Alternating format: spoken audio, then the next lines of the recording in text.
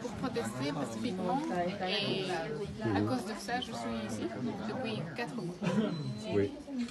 Avez-vous euh, vu un avocat déjà? Oui, juste euh, bon, mon avocat quand j'ai euh, une audience. Sinon, ici, je n'ai pas le droit de parler, d'avoir un appel téléphonique avec mon avocat. ou rien. Et vous avez été arrêté où à Maya? Euh, à la maison où je restais. Il y avait des paramilitaires, des, C'est donc des paramilitaires qui vous ont arraché. euh, euh, tous des paramilitaires et policiers ensemble. Et vous avez vu pendant les manifestations beaucoup de, de jeunes gens ou d'autres gens euh, blessés. Vous- on, on nous a dit que vous avez été euh, à essayer de les aider. Oui, comme étudiant de C'était à Léon, ça? Oui, à Léon, qui est une ville euh, principalement euh, universitaire.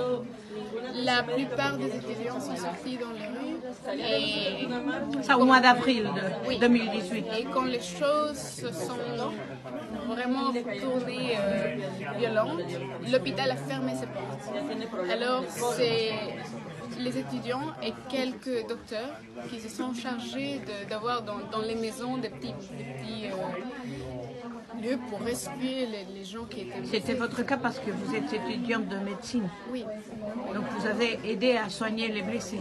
ce que j'ai pu. Et c'est pourquoi ils vous ont euh, arrêté.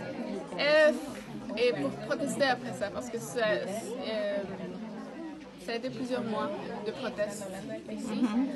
Et après ça, mon visage est apparu trop de fois dans, dans des vidéos, alors j'ai été... Ils vous ont repéré. Oui. Et voilà. Et maintenant, ils vous accusent d'être une terroriste. Oui, Dangereuse terroriste. juriste.